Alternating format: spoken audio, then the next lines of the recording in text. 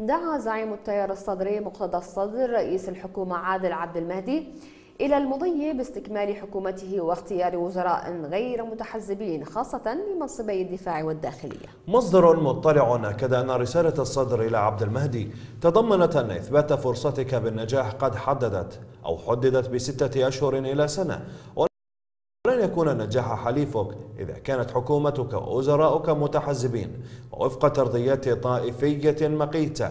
ودعا الصدر إلى عدم الانصياع إلى ما يجري خلف الكواليس من تقاسم المناصب عدا أن القادة الشجعان الذين حرروا الأراضي من سيطرة داعش هم الأولى بشغل حقيبتي الدفاع والداخلية.